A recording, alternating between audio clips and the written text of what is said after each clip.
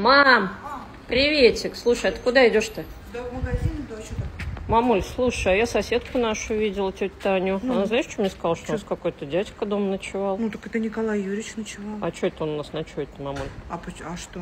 Ну я живу одна, почему он не может ночевать у нас? У вас что, отношения, что ли? Ну а что ты первый раз ты слышишь? Мы уже давно вместе. Мам, ну как бы встречайтесь на его территории. Что Почему? такое? Какие-то Ну, мужчины к нам ходят в нашу одна. квартиру. Это Это не наша ваша квартира, квартира, моя мам. квартира, девочки Ну как мои, то не наша? Наша общая квартира. Ой, мам, ну мы опять. против, мам.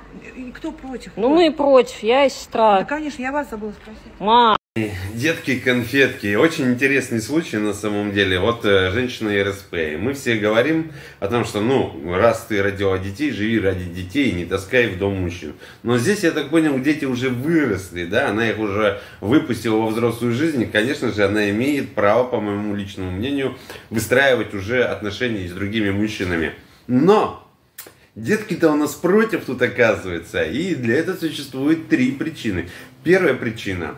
Они ревнуют мать к этому мужчине, да, что типа, ну, блин, она теперь будет часть своего времени отдавать ему. Второй момент.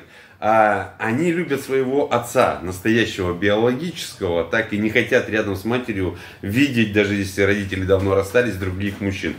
Третье.